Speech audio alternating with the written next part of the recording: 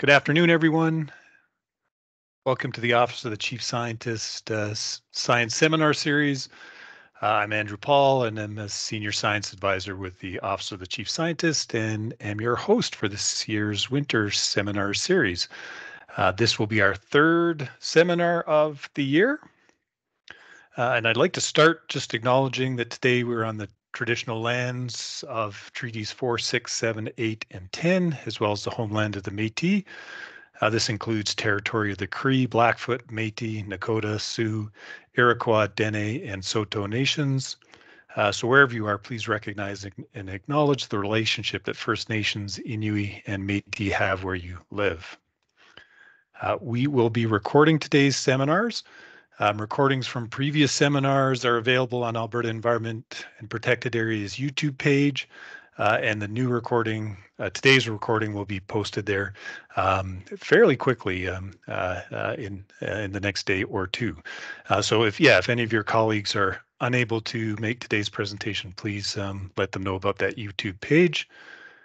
to help maintain quality today, video and audio has been disabled. Um, uh, you can enter your questions in the comments uh, uh, box at any time during the presentation.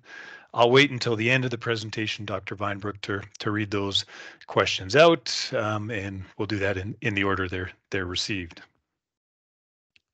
Uh, so yeah, today it's a, it is a real pleasure to welcome Dr. Rolf Vinebrooke from the University of Alberta.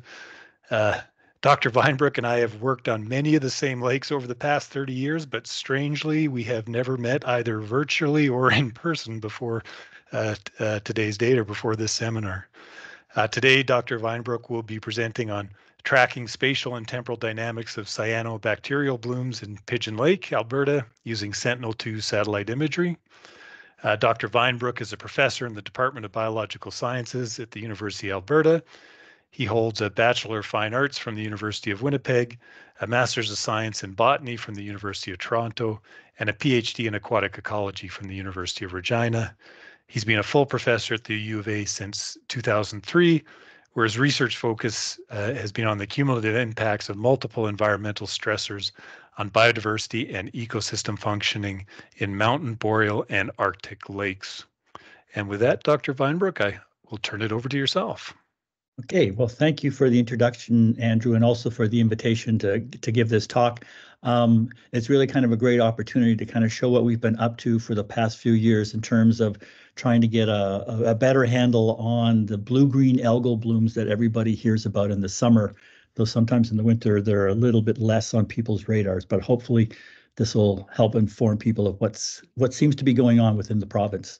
Um, so I'll just want to echo again, Andrew, that uh, acknowledgement here to the First Nations that most of the work that I'm going to be presenting today was conducted either in um, in the two Treaty 6 and also in to a certain extent in, in Treaty 8 as well.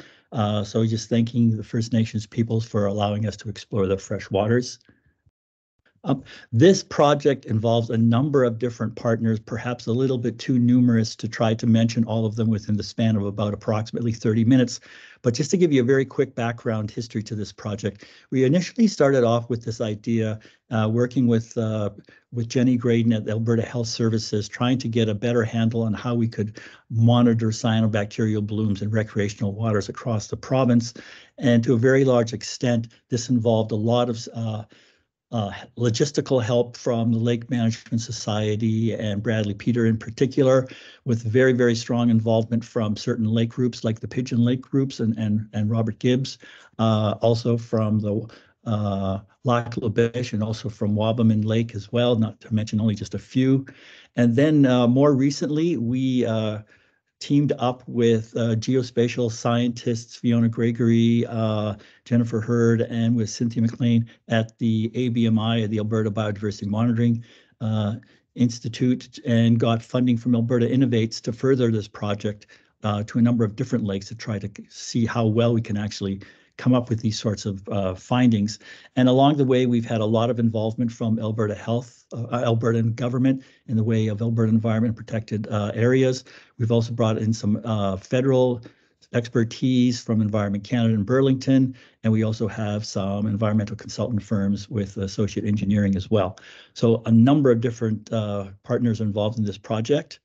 Um, just to kind of give you a little bit of an idea of the structure of my talk and also the timeline of this project, it actually look, started well back before 2023 with uh, working with Alberta Health Funding. But right now, what we're focusing on here is in the past year, last summer, we designated six lakes that I'll be talking a little bit more, more about, but I'll be mainly highlighting like the titles uh, was suggested in the in the abstract that was posted for this talk. I'll be uh, mainly focusing on Pigeon to a large extent because that's where most of our progress to date has been achieved. But um, of those six lakes, uh, we've also got buoy displacement being uh, conducted so that we get in situ high frequency monitoring of water quality parameters from these lakes so we can relate them then to the blue-green algal blooms that are occurring within these lakes. And then I'll just show you a little bit about how we're gaining archival uh, data from past satellite images of these lakes to answer some of these history questions like how have cyanobacteria blooms in the province become worse over the past few years, or is it just that human perceptions become a little bit more sensitive? And then we'll be validating our models like you'll see today to see how well these satellite uh, images track cyanobacteria blooms from, uh, from space. We'll be repeating this next year as well to try to validate and further calibrate our models across these lakes to see how well they actually perform. And then eventually, um, we're aiming to have a forecasting model somewhat analogous to a weather forecast model that can tell people, uh, depending on the current conditions within particular lakes, what are what's the probability of a problematic harmful algal bloom occurring within the lake in the near future. And this will all be also be made uh, accessed publicly available by way of a development of a uh, web application that's being created right now through Alberta uh, ABMI as well. So, like I mentioned, this project, first of all, started off with just a few lakes with a primary focus on Pigeon Lake, but now with further funding, we've expanded this to six of these lakes. You can see them here all um, and they were selected by way of consultation with Alberta Environment, also with with the Alberta Lake Management Society to try to capture the range of different extents to which lakes within central Alberta have experienced um, cyanobacterial or blue-green algal blooms in the past, and also to get an idea of do these models that we're going to be showing you today vary as a function of how productive an individual lake is. Extreme cases here, something like Sylvan Lake there on the bottom right, relatively very, very infrequent sorts of problems with algal blooms. Um, other lakes like perhaps Lac La Biche, um, it's much more sort of like an annual or almost semi-annual sort of event. Um, so one of the reasons was what's the motivation for reverting to satellite imaging of these lakes when um, we probably perhaps have one of the most extensive lake monitoring programs of any province within Canada, and traditional means have been used for quite a while to to monitor these lakes. Well, I think my colleagues at Alberta Environment and uh, Lake Watch at, at ALMS would probably uh, agree with me that it's it's difficult to try to logistically sample all of these different types of lakes on a very, very regular high frequency basis. And when you get to the lake, there's only so and so much time you have to spend sampling a lake so that you have a lot of kind of logistical constraints over how well you can, in a relatively short period of time and cost effectively monitor an entire lake for algal blooms, particularly given like this animation shows from Pigeon Lake taken during the year open water season of 2018 that the variability of a cyanobacterial or a blue-green algal bloom that occurs across the lake, as you can see by this wisp, is very, very dynamic from, from day to day and also depending on where you are within a particular spot within the lake. You might be in a part of the lake sampling where it seems to be not very abundant with cyanobacteria, but if you're in one of these wisps or clouds, you probably get a very, very different sort of impression. The interesting thing about satellite monitoring, like you'll see today, is that from these images, we can collectively uh, get a complete representative picture of the extent to which the cyanobacteria blooms are affecting a particular lake at a particular point in time. And that is often done on a very, very sort of regular basis when I talk about the satellites that we're accessing. So here's just an example from last summer of the six study lakes about how variable both over time and also within the lake on each one of the sampling dates chlorophyll values are and here I'll stay right for those of you that aren't that familiar with, you know, what's what's what's it about chlorophyll. Chlorophyll is a regularly used sort of surrogate measure for the amount of biomass of phytoplankton or algae floating within a lake. And in many cases, um, chlorophyll A is used because it's a much more expedient sort of way of measuring total phytoplankton or algal biomass rather than trying to do much more laborious measurements involving light microscopy. So here you can kind of see the abundance, inferred abundance of phytoplankton is highly variable, both across time and both across space, sometimes or varying by over a full order of magnitude in some cases. So unless you're out there all the time um, measuring these sorts of parameters like chlorophyll, um, spot samples will not always give you the complete picture of the extent to which a lake might be having a particular problem.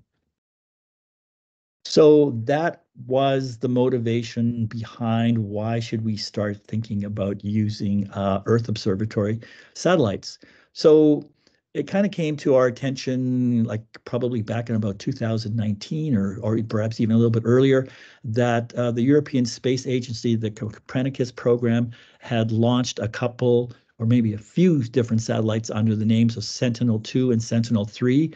And they were specifically designed to be uh, monitoring surface waters for reflectance of different types of uh, wavelengths of sunlight that were then attributable to differences in water quality uh, pertaining directly to, in some cases, whether or not a lake had a particular high abundance of cyanobacteria or phytoplankton.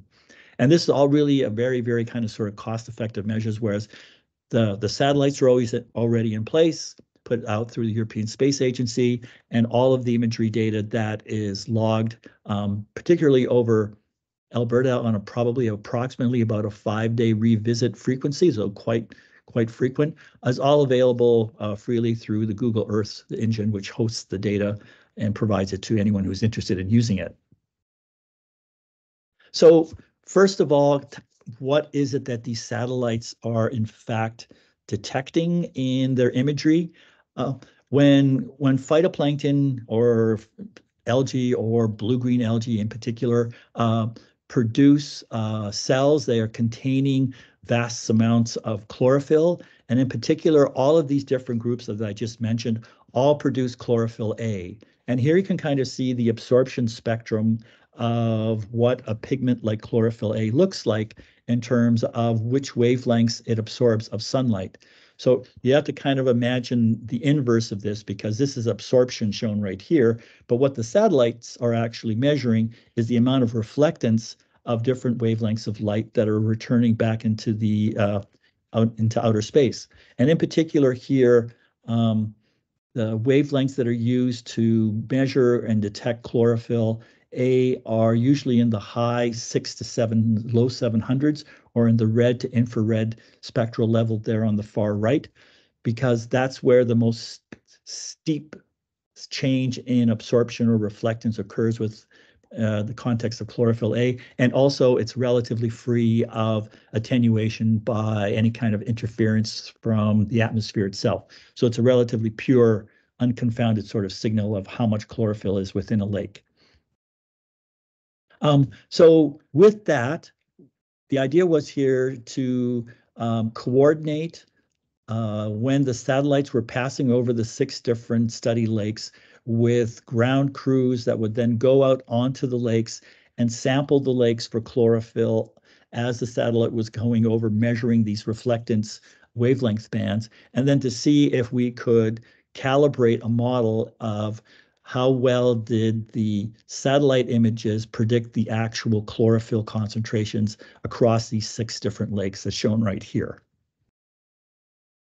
And so to do this ground truthing exercise, which again, uh, um, I, I will salute the efforts of Bradley Peters at, at Lake Watch and also uh, Ron Zurawell and Craig uh, Emmerton at Alberta Environment and Protected Areas and all the other lake groups that are involved in these six different lakes, that this is a campaign that's not trivial.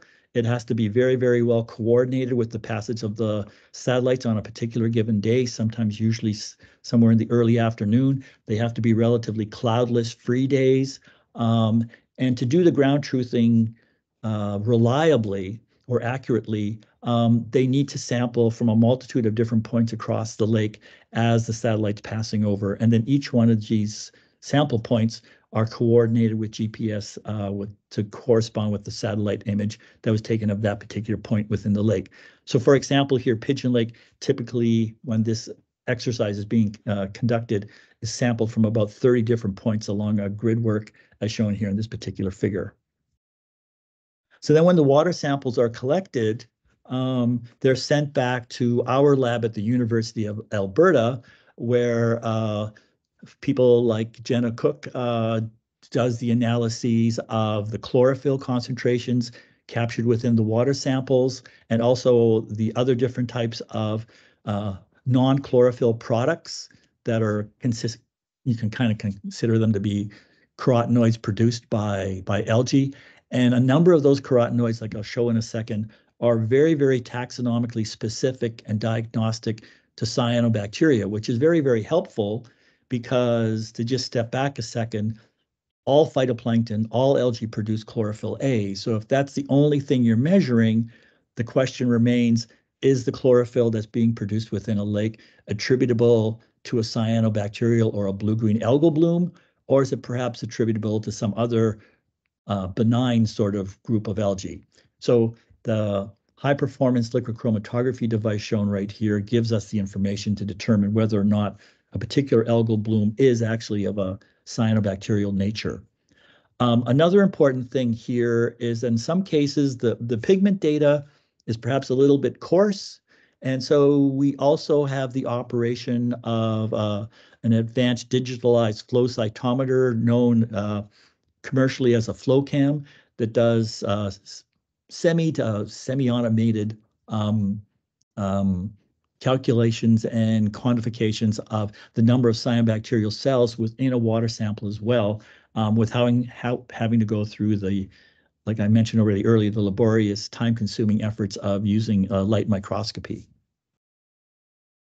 So to do a high preferential liquid chromatography uh, analyses, it's shown right here. It's a multi-stage sort of process over on the top right panel right here that I won't go through each one of the particular steps. But ultimately, what happens is that a sample that is um, filtered and then concentrated for all the phytoplankton cells within it, the pigments from that sample are extracted. It's run through one of these HPLCs, and the different pigments are separated by differences in their polarity, and you get different types of pigments then quantified by way of they each have a very unique spectral sort of fingerprint as shown down there on the bottom right-hand corner of the top panel there. And interesting also, the, the figure at the bottom here, at the very bottom right, shows you the difference in how the different types of algal pigments or phytoplankton pigments just differ inherently in their coloration.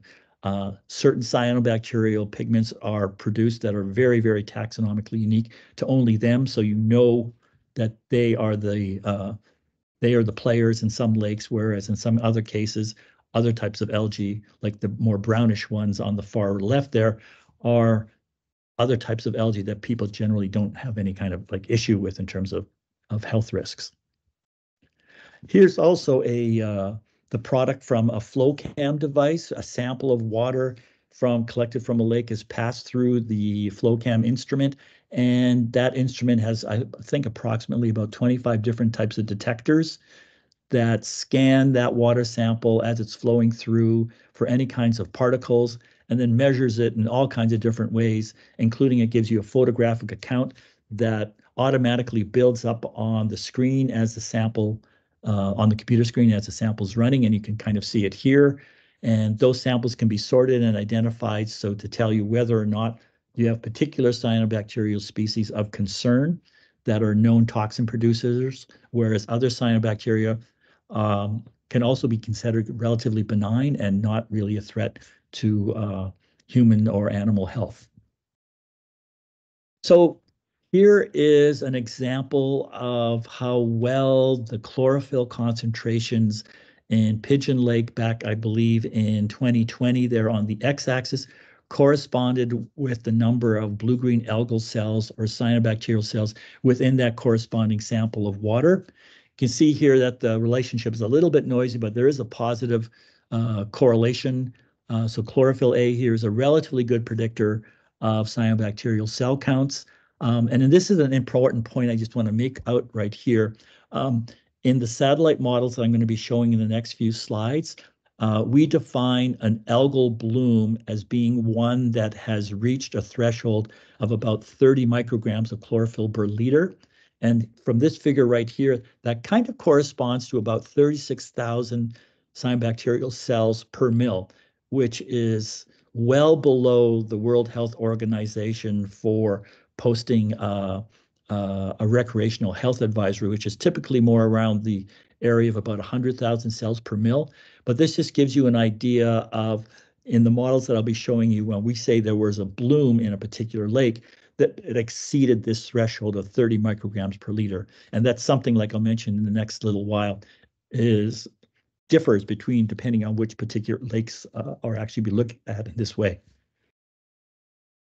So um, this gets back to a thing that I just mentioned a couple of slides ago. Um, you can detect chlorophyll from outer space with a satellite. The question remains, however, is the chlorophyll that it's detecting attributable to cyanobacteria or some other algal group? Um, this shows you, uh, again, from Pigeon Lake, that the amount of chlorophyll detected um, on the x-axis is a pretty strong predictor and indicator of uh, cyanobacteria in this particular lake's case. In particular, there's two types of uh, diagnostic cyanobacterial pigments here plotted on the vertical y-axis. The top panel shows a pigment known as canthaxanthin. Canthaxanthin is a pigment that's produced specifically by different types of blue-green algae that are very, very filamentous or string-like. You might see the photograph up there on the very top left, the, the ones that kind of look like somebody's thrown grass clippings into your lake, that's a filamentous cyanobacterium. Um, at the bottom on the y-axis, there's another pigment known as myxoxanthophyll. It also correlates very strongly with chlorophyll A um, in Pigeon Lake. And myxoxanthophyll is much more indicative of different groups of potentially toxic cyanobacteria that are form colonies or more clusters, like the image is shown right down there at the bottom. You might have heard of the toxin microcystis. That uh, photograph down there at the bottom that produces myxoxanthophyll. That's the genus Microcystis. And that particular uh, genus, if you see it occurring within a lake, looks much more like somebody threw some dried uh, uh, art artist paint pigment powder into the lake, and it kind of floats around, looking like a like a like a floating residue. So two very different types of cyanobacterial groups, uh, both of concern um, very strongly correlated with chlorophyll concentrations in this particular case. So um, how well did, did the satellite, in particular the Sentinel, Sentinel-2 satellite that we use that has a pixel resolution that ranges from about 10 to about 20 meters in size. Um, the index that we use based off of the data from the Sentinel-2 is shown down on the x-axis. It's known as a three-band index. It's three different bands of in infrared that are used to detect chlorophyll reflectance. And there you can see, so the satellite imagery data is on the x-axis, the amount of chlorophyll that was actually detected um, then in Pigeon Lake across those different samples during that summer uh, as analyzed and the lab is shown on the y-axis. And you see here that the relationship is actually pretty good with the best fit line explaining about 89% of the variance in that relationship. So, so not a bad, if you want to call it algorithm or model for inferring chlorophyll concentrations without having to measure it in the lake and just using it from satellite-based imagery. Um, an interesting point is that we found subsequently, um, and this is a lot of the work of Fiona Gregory, is that the algorithm or model for Pigeon Lake, as shown down there in the blue on this graph right there, um, varies in its parameters from uh, the same models that we developed by way of the same sort of exercise on other lakes. In particular, um, you can see Wabamun down there on the bottom left. Uh, Lac La Biche is sampled there in the green. Lesser Slave Lake is shown in the yellow. And then collectively, those four different lake models are all put together to kind of like produce our master algorithm for inferring chlorophyll in Albertan lakes to this point using satellite data. So an interesting thing here, which we're trying to further explore, is why do these actually, these models vary across lakes? Um, probably the most basic sort of uh, explanation is that they differ in the extent to which um, they contain chlorophyll or produce chlorophyll. You can see Pigeon Lake has much more variance in in their its data than say says does Wabamun. There's also the issues of differences in inherent watercolor. Some lakes are a little bit more browner than others. Also, they differ in terms of what kind of blue-green algae are actually in the different lakes. Some blue-green algae produce a lot of chlorophyll, some of them do not. And that could also have some influence here on um, on how these models actually work out. Um, so the, the next idea, which I can't really show you yet because we're not yet in the summer of 2024, but it's coming up, is to use these different models that we've built based off the ground truthing exercise, and then to see how well they actually hold up across years. So this is like our our next sort of validation step to see how robust these models that we developed previously, how well they stand up to interannual uh, variation. And it's kind of important to note because we've already seen that the models or the algorithms vary across space in terms of across lakes. Now the question is, do they also vary within a lake across years?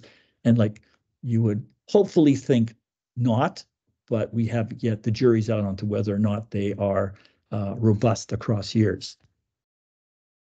Um, but one I, thing I want to really show you really quickly here is that we're using these models to go back in time to uh, look at how the history of some of these lakes have been in terms of the severity of the cyanobacterial blooms that have occurred in them.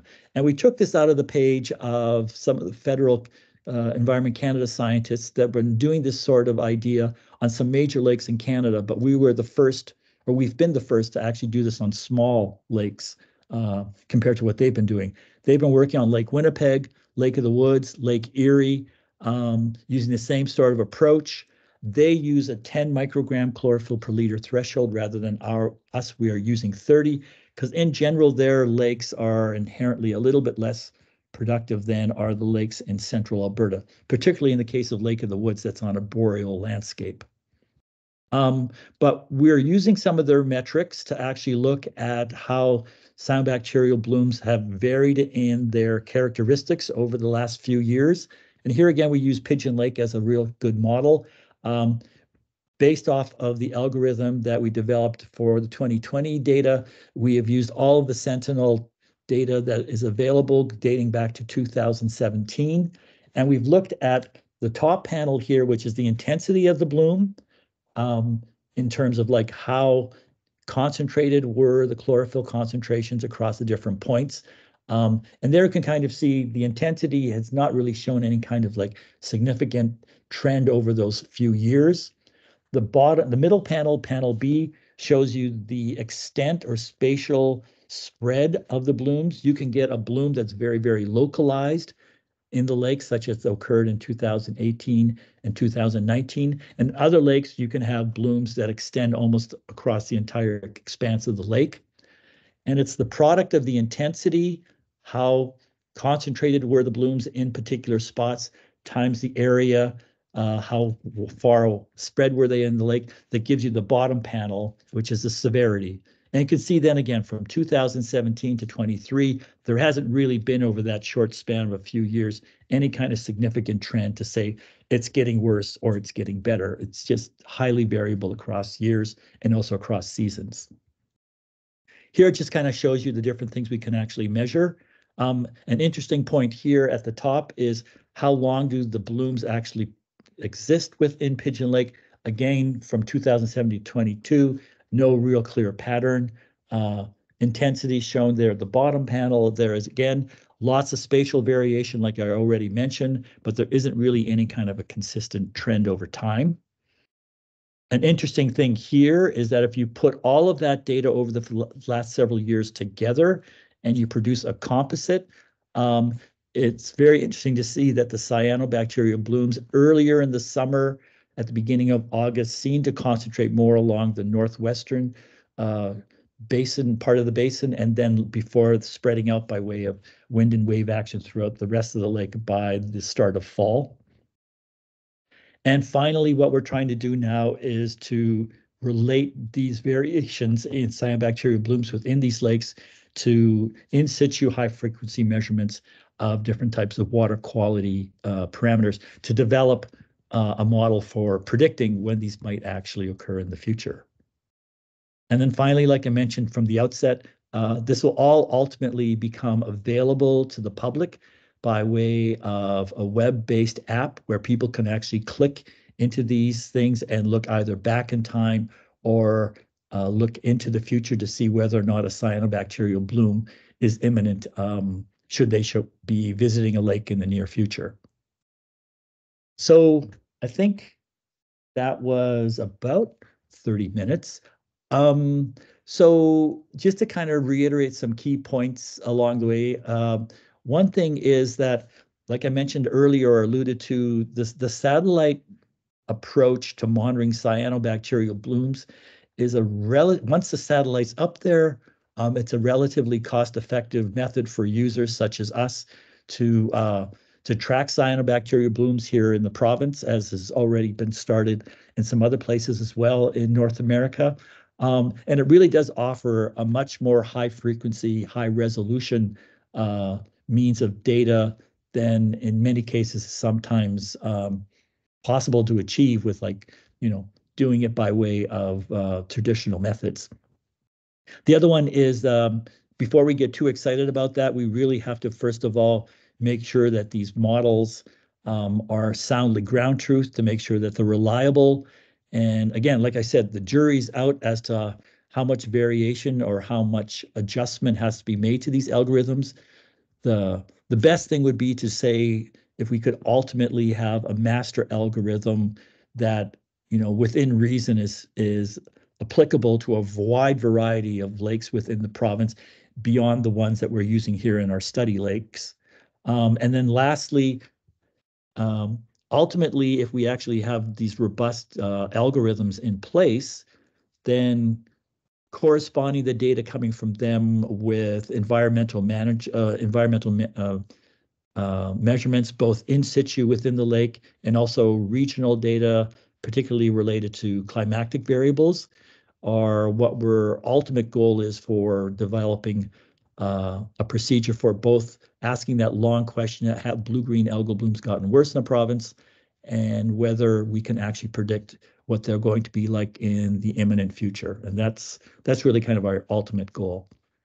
So with that, um, I would be happy to take on any sorts of questions. Uh, excellent. Uh, th thanks, Dr. Vinebrooke. We are running out of uh, time now. Um, there are any more questions that come in, we'll be sure to share those uh, with yourself, Dr. Vinebrooke. And I'm going to offer that people can reach out to yourself if they uh, want to oh, follow yeah. up on certain certain things. Wonderful. Thank you. Uh, also, um, want to remind people our next seminar is uh, Tuesday, March 12th. Uh, we'll be hosting Dr. Barry Robinson from the Canadian Wildlife Service, uh, and he'll be presenting on species density models to inform conservation of grassland birds throughout the Great Plains. Uh, just a quick reminder, if folks want to be on the mailing list for these science seminars, please send an email to the Office of the Chief Scientist mailbox, which is ap.ocs, and that's at gov.ab uh, .ca. Um, so with that, again, um, thank you, Dr. Vinebrooke, for a wonderful presentation and taking the time to answer all the questions that, that came in today. It's much appreciated. Yeah, great set of questions. Yeah, it really was. Thank you so much. Okay.